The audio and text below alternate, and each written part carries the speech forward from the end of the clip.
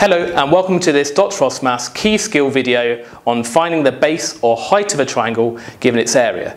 Now in the previous video we looked at how we could use the base and the height of a triangle to work out the area. But now we're working backwards. We've got the area of the triangle and we've got either the base or the height and we want to find either the height or the base depending on which one we have.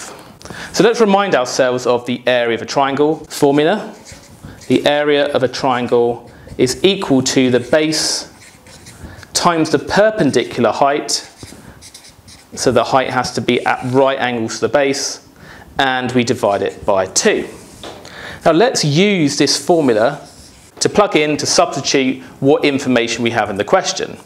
We've got the area of the triangle, that's 27, and that is equal to the base of the triangle, which we know is 9, multiplied by the height of the triangle, which is h, and remember that height has to be at right angles to the base, and then we can see there's a divide by 2. So we just need to solve this equation.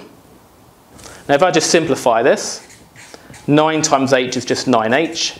Now how would we solve an equation like this? We want to try and get h on its own. And we can see that h has been multiplied by 9 and then divided by 2. Now remember, we want to undo the last thing that happened to the variable the h first. So we want to undo, get rid of that over 2. What's the opposite of dividing by 2?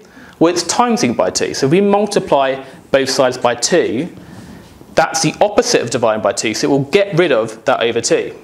So 27 times 2 is 54 and we're doing the same thing to the right hand side. Whatever we do to the left hand side, we have to do the same to the right hand side.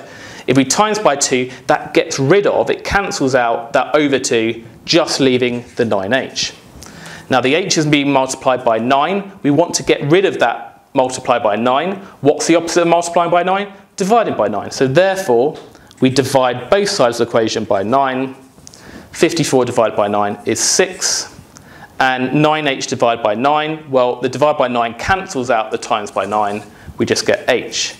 And so therefore, the height is 6 centimetres. Let's just check that by going forwards. 9 times 6 is 54, then divided by 2 is 27, which gives us the correct area. So we know that we've got the answer right.